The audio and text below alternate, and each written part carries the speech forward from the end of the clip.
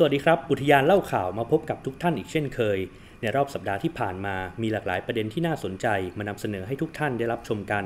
ซึ่งในครั้งนี้เรามีเทปสัมภาษณ์พิเศษจากทางสำนักอุทยานแห่งชาติ จะเป็นเรื่องใดนั้น เดี๋ยวกลับมาชมพร้อมกันครับ ตอนนี้เราไปชมข่าวสำคัญในรอบสัปดาห์ที่ผ่านมากันก่อนครับ จ้าหน้าที่เขตรักษาพันธุ์สัตว์ป่าห้วยขาแข้งถูกกระทิงวิ่งชนบาดเจ็บ ขณะออกลาดตระเวนเพื่อปกป้องพื้นที่ป่า พบจุดเกิดเหตุเป็นป่าทึบต้องลำเลียงผู้บาดเจ็บด้วยการเดินเท้ากว่า 5 ชั่วโมง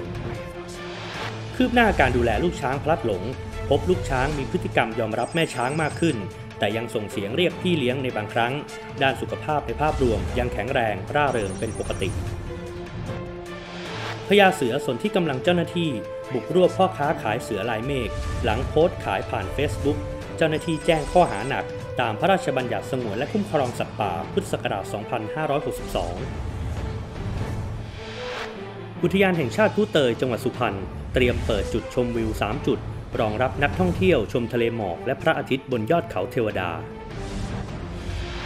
อุทยานแห่งชาติน้ำตกเหงา เปิดให้บริการบ่อน้ำแร่ร้อนพรรังครั้งแรก หลังปิดตามมาตรการป้องกันการแพร่ระบาดโควิด -19 ย้ำนักท่องเที่ยวต้องปฏิบัติตามมาตรการป้องกันโควิด -19 อย่างเคร่งครัด ตามแบบ New Normal และทั้งหมดนี้คือ Flat New ประจำสัปดาห์ ครับ และเพื่อให้เข้ากับช่วงวันหยุดยาว และเทศกาลปีใหม่ที่จะมาถึงในอีกไม่กี่วันนี้ อุทยานเล่าข่าว จะได้นำคลิปสัมภาษณ์ผู้อำนวยการสำนักอุทยาน ท่านดำรัสโพประสิทธิ์ที่ท่านได้พูดถึงการบริหารจัดการท่องเที่ยวภายใต้แนวคิด ท่องเที่ยววิถีใหม่ใส่ใจสิ่งแวดล้อม จะเป็นอย่างไรนั้น เดี๋ยวเราไปฟังกันครับ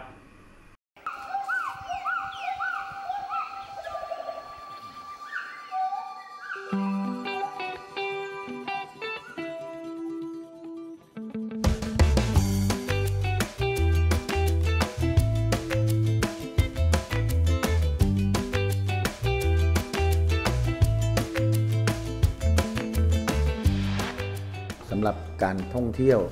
วิถีใหม่เนะครับใส่ใจสิ่งแวดล้อมนั้นครับเราก็ต้องมีมาตรการนะครับในการที่จะให้เป็นไปให้มีนักท่องเที่ยวที่มีความปลอดภัยกับทางโควิดด้วยนะครับนอกจากมีเรื่องการป้องกันมาตรการโควิดแล้ว ทางกรมอุทยานโดยสำนักอุทยานนะครับ เราก็ได้มีแนวทางการที่จะทำให้ CC เนี่ยได้เกิดผลโดยเราได้เริ่มต้นในเรื่องของการทำ e-ticket นะครับ สำหรับ e-ticket นะครับ ตอนนี้อยู่ในกระบวนการที่เราพัสดุแล้วกันนะครับกำลังจะเร่งให้ได้ได้ได้ตัวงานนี้ออกมา เรานำร่องทั้งหมดอุทยานแห่งชาติ 6 แห่งที่ที่ดังๆของเราที่มีปริมาณนักท่องเที่ยวเยอะ ต่อไปนี้นักท่องเที่ยวจะต้องจองไปในระบบแอปพลิเคชัน แต่ก่อนที่ผ่านมาที่เราจองกับ QQ นั่นคือการจองอย่างเดียว เดี๋ยวนี้จองปุ๊บชำระเงินเลย สมมติเขาใหญ่ อาจตีตีตีตัวเลขกลมๆ 10,000 คน เราจะให้จองผ่านระบบเนี้ย 80%ก็คือ 8,000 เมื่อ 8,000 เต็มปุ๊บต้องหยุด ทีนี้ถามว่าอีก 2,000 มาจากไหน อีก 2,000 เนี่ยนะครับ เราจะมีตู้คีออสนะครับไปไว้บริเวณทางเข้าอุทยาน ตู้คีออสเนี่ยจะรองรับ 20%พูดง่ายๆ ตู้คีออสเนี่ยสำหรับพวก Walk-in จะติดตั้งตู้เหล่านี้ให้เสร็จนะครับในอุทยานที่ที่มีปริมาณนักท่องเที่ยวเยอะเนี่ยนะครับ และเราจะให้ใช้งานเลย ดีเดย์พร้อมกันคือวันที่ 26 ธันวาคม แล้วข้อดีของตู้ตัวนี้ก็คือ 1 มาเป็นคณะใหญ่อย่างเช่นมา 1 รถบัส มีคน 40 50 คนหรือ 60 คน เป็นการกดทีเดียวนะครับ เป็นภาพรวมเลยนะครับอันนี้ก็จะทำให้เราประหยัดเวลาไปเยอะนะครับ ก็ทำให้ปัญหาหลักๆ คือถ้านักท่องเที่ยวเขาไม่ติดยาวเป็นกิโลตรงหน้าด่านเนี่ยถ้าเขาได้ไปพักตรงลานจอดรถของอุทยานได้เข้าห้องน้ำ ได้ไปเดินเล่นยืดแข้งยืดขาเพราะขับรถมาระยะไกล ผมว่าตรงนี้เขาก็ก็ก็น่าจะโอเคแล้วครับ เรื่องการทิ้งขยะนะครับ แล้วก็เป็นการสร้างภาระให้กับอุทยาน อย่างเช่น กรณีมีการทิ้งขยะอยู่ในบางอุทยาน ไม่ใช่ทิ้งนะฮะเอาไปแล้วก็สมมติไปกลางเต็นท์แล้วก็ขยะที่ที่อยู่บริเวณรอบเต็นท์น่ะพอคุณเช็คเอาท์ผมใช้คำว่าเช็คเอาท์แล้วกัน แล้วคุณไปขึ้นรถกลับ คุณทิ้งขยะรอบๆตรงนั้ไว้ให้กับเจ้าหน้าที่อุทยานมานั่งเก็บนะครับ แล้วคุณก็เข้าใจว่านี่คือเป็นหน้าที่ของเจ้าหน้าที่อุทยานแห่งชาติอ๋อแน่นอนครับ ถ้าคุณไม่เก็บกลับไปก็เป็นหน้าที่ แต่ผมถามว่าวันนี้จิตสำนึกในการท่องเที่ยวเรา นะครับสำหรับโดยเฉพาะคนนักท่องเที่ยวรุ่นใหม่ ผมเชื่อนะครับว่าจะไม่มีพฤติกรรมเหล่านี้แล้ว แต่ถ้ามีนะครับผมยกตัวอย่างได้เลย เราจะมีมาตรการนะครับ เพราะต่อไปนี้คุณไปใช้บริการในอุทยานนะครับไม่ว่าจะเป็นบ้านพักหรือหรือลานกลางเต็นท์นะครับ ถ้าคุณจะต้องเอาบัตรประชาชนนะครับ ไปไว้ที่เจ้าหน้าที่ ก่อนคุณจะออกจากอุทยาน จะมีเจ้าที่ไปตรวจเช็คก่อนว่าบริเวณรอบๆ เต็นท์คุณมีขยะตกค้างอยู่ไหม ถ้ามีนะครับ ทางเจ้าที่จะขอให้คุณนำขยะเหล่านั้นนะครับ เอาขึ้นรถคุณแล้วกลับไปนะครับ แต่ถ้าท่านยังฝ่าฝืนไม่เชื่อฟังคำสั่งของพนักงานเจ้าที่ที่ที่ขอร้องท่าน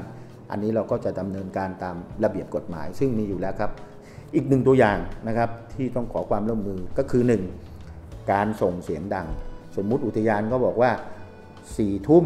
ให้งดใช้เสียงนะครับสามทุ่มครึ่งจะมีเจ้าหน้าที่ของอุทยานไปเตือนแล้วนะครับ คุณจะต้องหยุด4ี่ทุ่มจะต้องงดใช้เสียง ถ้ายังมีใครใช้เสียงนะครับ เราจะดำเนินการนะครับ เชิญคุณออกนะครับ เพราะฉะนั้นฝากไว้ด้วยครับ เราไปเที่ยวที่เหล่านี้นะครับ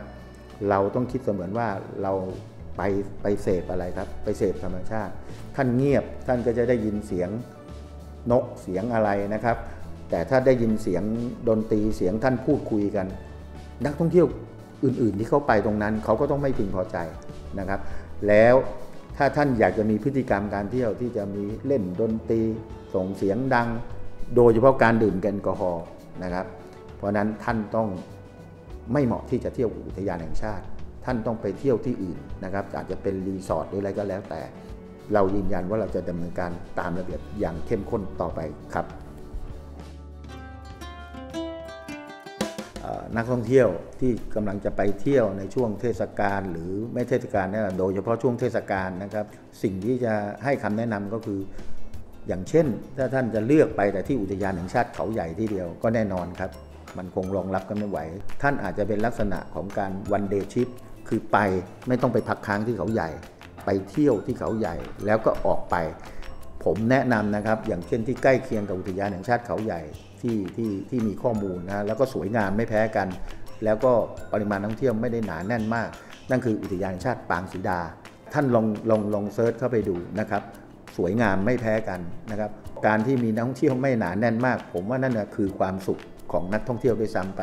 พอพูดถึงภาคเหนือก็อินทนนท์นะครับ ผมแนะนำนะครับ อุทยานแห่งชาติออบขาน ไปด้วยตัวเองนะครับ ก็ทึ่งมากครับว่าโอ้โหเป็นอุทยานที่สวยงามนะครับ แล้วก็มีนักท่องเที่ยวที่ไม่ไม่หนาแน่น แต่ตอนนี้ต้องยอมรับว่าเริ่มจะมีนักท่องเที่ยวสนใจล้วหรืออ้าวทางทะเล อย่างเช่นตอนนี้มาหยาเราปิดอยู่แหมแต่อยากจะไปเที่ยวชายหาดที่สวยงามเหมือนอย่างมาหยาไปที่ไหนเลยครับ ผมแนะนำไปที่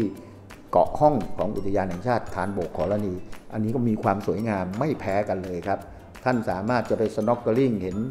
ทรัพยากรไม่ว่าจะกลุ่มปะการังหรือพันปลาต่างๆ ที่สวยงามนะครับ อันนี้เป็นคำแนะนำก็แล้วกันครับผม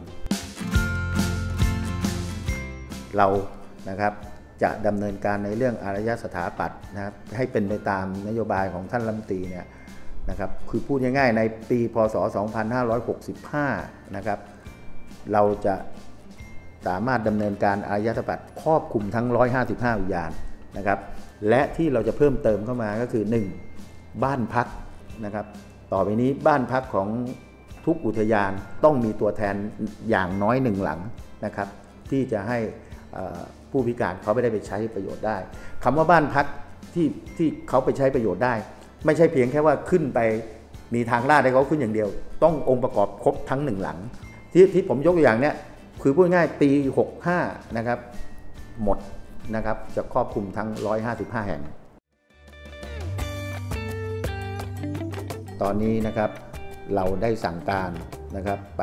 ที่ศูนย์กู้ภัย และก็ทุกอุทยาน ทุกอุทยานเราก็จะมีหน่วยงานกู้ภัยอยู่ประจำอยู่อุทยานอยู่แล้ว ไม่ว่าจะเป็น first aid หรืออะไรก็แล้วแต่นะครับ หรือแม้กระทั่งเป็นพวก lifeguard ทางทะเลอะไรก็แล้วแต่ ซึ่งผนึกกำลังกับศูนย์กู้ภัยเราซึ่งมีกระจายอยู่ครอบคลุมทั่วทุกทั้งประเทศเนี่ยนะครับ ให้เตรียมความพร้อมนะครับ ซึ่งวันนี้ผมได้ติดตามข้อมูลปรากฏว่าในเรื่องของอุปกรณ์เครื่องไม้เครื่องมือบุคลากรนะเขาเตรียมกันไปตั้งนานแล้ว มีการทดสอบฝึกซ้อมก่อนที่จะถึงช่วงเทศกาลท่องเที่ยวที่ไม่ว่าจะเป็นปีใหม่หรือหยุดยาวต่างๆ อันนี้ขอยืนยันกับพี่น้องประชาชนและนักท่องเที่ยวทั้งหลายนะครับ วันนี้อุทยานเรามีความพร้อมนะครับ เพราะฉะนั้นถือได้ว่าวันนี้นะครับเราจะ พยายามนะครับให้เกิดอุบัติเหตุ หรือเกิดสิ่งที่ไม่ปลอดภัยการท่องเที่ยวให้น้อยที่สุดเท่าที่จะน้อยได้นะครับ แล้วก็ในช่วงเทศกาลนะครับ ผมได้สั่งการนะครับให้เจ้าหน้าที่ส่วนกลางของสำนักอุทยาน และสั่งการไปที่นะครับในระดับพื้นที่ทุกสำนักพื้นที่นะครับ ให้จัดเจ้าหน้าที่ออกไปติดตามนะครับ แล้วก็ไปให้กำลังใจกับเจ้าหน้าที่ของอุทยานที่ต้อง มีภารกิจหนักในช่วงหยุดยาวนี้ครับครับผม